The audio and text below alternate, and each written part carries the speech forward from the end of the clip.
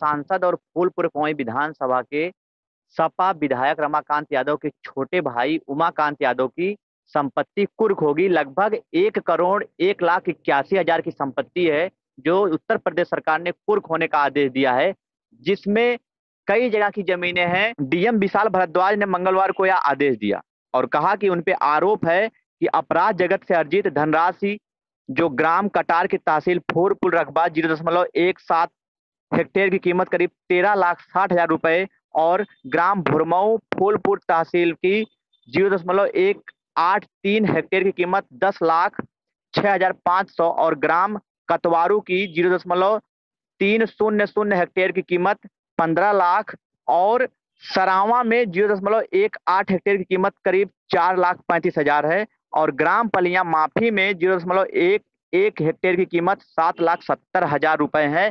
जो जमीनें अब कुर्क करेगी सरकार, ये उसका डाटा था। इससे पहले भी योगी सरकार जब से दूसरा कार्यकाल शुरू हुआ है, उसमें ज़्यादातर संपत्तियों पर या तो बुलडोजर चलाए जा रहे हैं, या तो कुर्क की जा रही है। आप किस बारे में क्या राय है, कमेंट करिए और चैनल को सब्सक्राइब कीजिए। धन्यवाद।